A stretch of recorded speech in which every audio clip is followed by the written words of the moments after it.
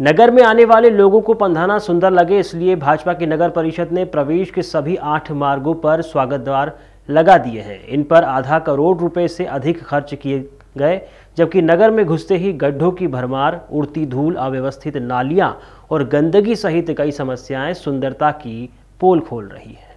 नगर परिषद ने चुनाव आचार संहिता लगने से सप्ताह भर पहले नगर में प्रवेश के आठ मार्गों पर स्वागत द्वार लगाए। इन पर सत्तावन लाख इकतीस हज़ार तीन सौ अट्ठाईस रूपए खर्च किए गए।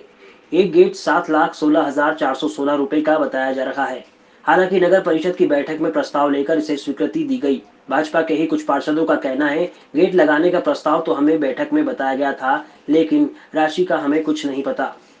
कुल पाँच फर्मों ने वे टेंडर डाले थे, इनमें से इंदौर की फर्म अदिति सेल्स को द्वारा निर्माण का ठेका दिया गया। इन स्वागत द्वार पर खर्च की गई राशि की जानकारी लगते ही नगर में विरोध के स्वर उभरने लगे हैं। लोगों व बुद्धिजीवियों का कहना है कि यह राशि नगर के गड्ढे भरने सड़क बनाने, नाली निर्माण व अन्य मूलभूत जरूरतों पर खर्च की जाती तो राहत मिलती। केवल स्वागत द्वार खड़े करने से नगर की समस्याएँ हल नहीं हो सकती।